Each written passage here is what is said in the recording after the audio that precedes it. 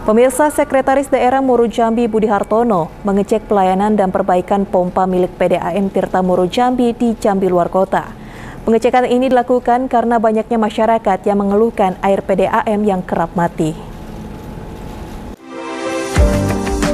Sekretaris Daerah Muru Jambi Budi Hartono mengecek pelayanan di kantor cabang Jaluko PDAM Tirta Muru Jambi.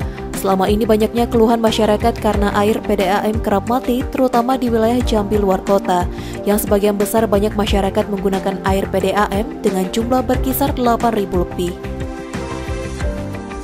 Sekretaris Daerah Muru Jambi Budi Hartono juga melakukan pengecekan lokasi pompa air yang sedang diperbaiki karena rusak dimakan usia.